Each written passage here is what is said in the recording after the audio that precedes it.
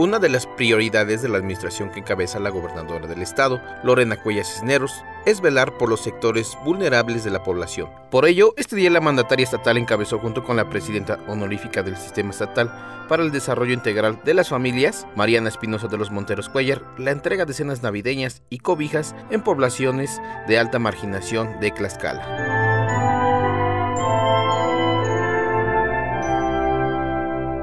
Desde muy temprana hora, la presidenta del DIF estatal dio el banderazo de salida de las caravanas integradas por los trabajadores del gobierno del estado, que se repartieron en 22 grupos para llegar al mismo número de municipios y así alcanzar el objetivo de entregar alrededor de 1.650 cenas navideñas a familias de escasos recursos.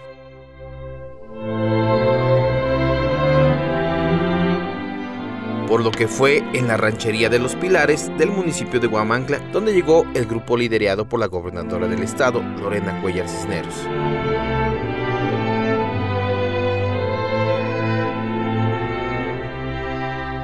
Ahí repartió más de 600 ayudas entre cenas y cobijas a los pobladores que agradecieron el gesto y comentaron que nunca les habían traído ningún tipo de apoyo por parte del gobierno, como lo comentó la señora Berta Rodríguez. Ah, pues la verdad muy orgullosa de que alguien sí se acuerde de nosotros, la verdad, porque pues nunca alguien ha venido y siempre que viene son puras promesas, pero al final nunca vemos nada, es la verdad. Y pues sí, le agradecemos que ella sí nos está cumpliendo. Es la primera vez que recibo algo y más así como ahorita ella que nos viene entregando personalmente. Por su parte, la señora Celsa León Ramírez comentó que los gobernadores no se acuerdan de las comunidades más alejadas del estado, pero esta vez Lorena Cuellar lo hizo.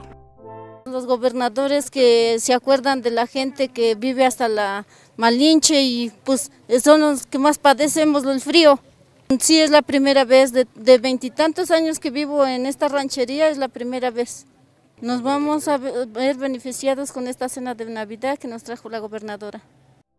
Emma Hernández Nieto, dijo que tendrá una cena de Navidad diferente gracias al gesto de la gobernadora.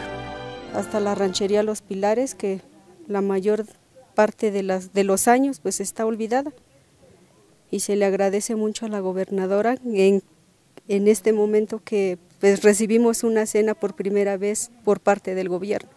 Pues porque nos vamos a reunir y gracias a la gobernadora pues vamos a tener una cena. Para Ahora Noticias, Ángel Hernández.